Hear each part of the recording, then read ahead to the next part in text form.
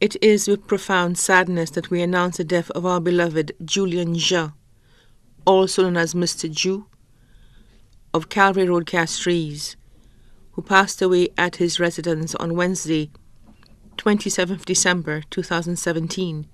He was 78 years old. The funeral arrangements for the late Julian Jean, also known as Mr. Jew, will be announced in a subsequent broadcast. The body now lies at Lazarus Funeral Home with Bouteille. May he rest peacefully.